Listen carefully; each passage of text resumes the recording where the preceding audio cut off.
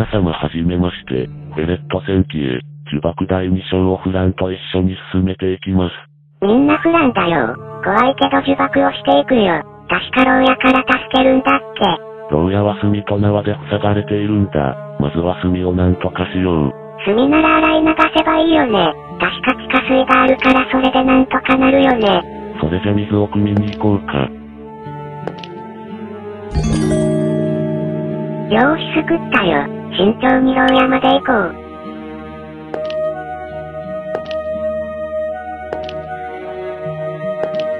なんとかついたね。それじゃ水をかけて炭を流そう。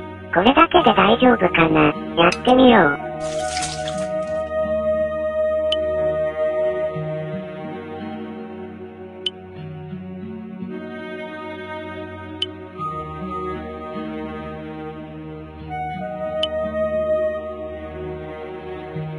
りダメか。なんか変化は起きたのかな？うぷ主。イベントは起こしたから変化は起きたよ。探してみよう。それじゃ探そう。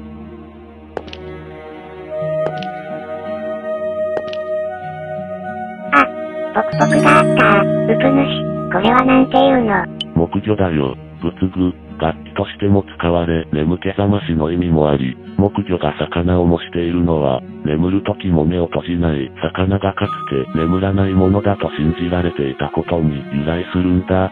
普段どうかした？なんか怪しんでるけど。なんか蝶がある気がするんだよ。また2個あるの。うん2個ある。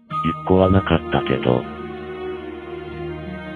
やっぱりあったアイコンずれてたらごめんね先週の話はいいから、先に進めよう。はーい。それじゃ進めます。それじゃポクポクで水をすくうんだね。バチ当たらないよね。来月はお盆だからね、大丈夫だよ。なんかあったらうぷ主。実際に体験した怖い話を動画にさせるからね。それは嫌だよ。リアルでリハビリに苦労してるんだから。で、なんだけどここの蝶は取っているのかな裏でまさか下のフランさん。ちょっとだけ、予習でしたんだけど、あわわ、間違って取っちゃった。ごめんなさい。あんまり怖がってないから、うーんだったけど予習をしてたのか。するのはいいけどアイテム類は注意してね。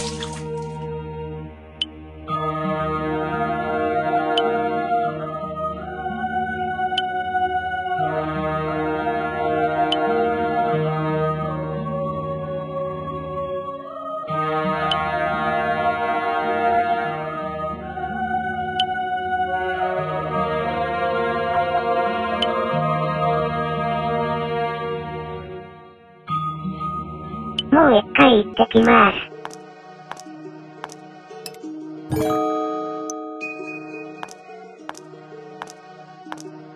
これでどうだ？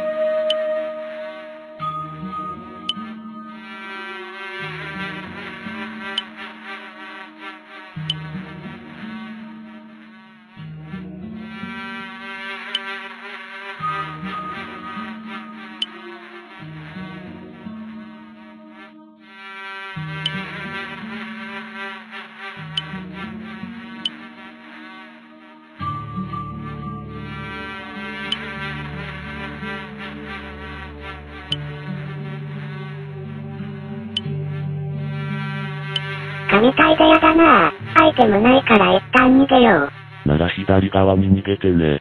左側だね。予習した時なんかあったんだった。あれを使うんだね。その棒を拾ってから左、落ちてきた場所で石を、蜘蛛の巣で棒だよ。棒を拾っていいだね。わかった。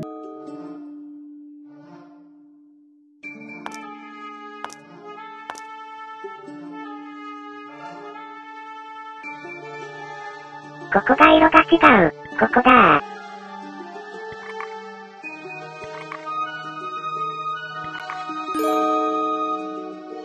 次は蜘蛛の巣。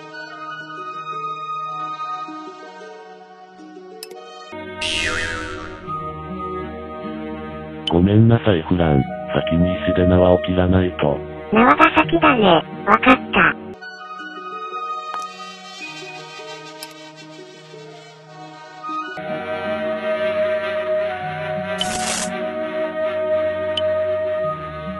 いよいよだねフラン。ここは見たの。見てないよ。マリサからデドバに誘われてやめたんだ。デドバかマリサはいろいろしてるな。いつか動画にと言ってきそう。先に行こう。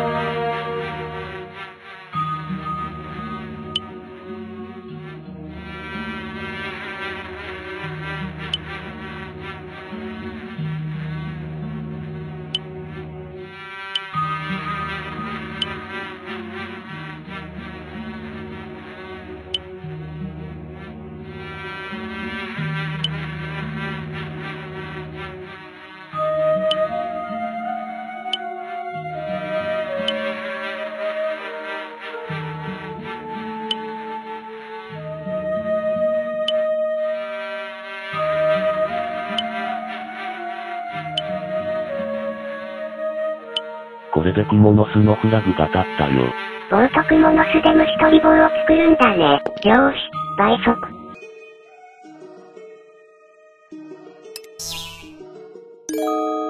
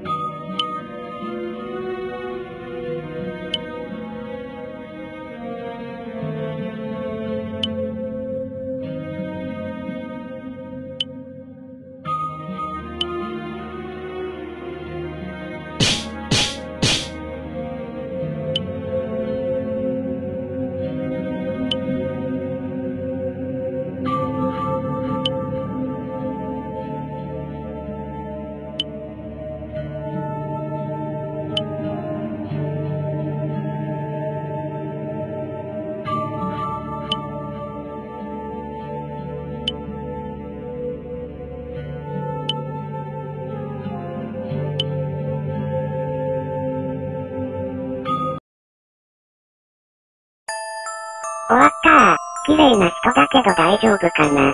次回からは大変だけど、頑張っていこう。ご視聴ありがとうございました。みんなまったねー。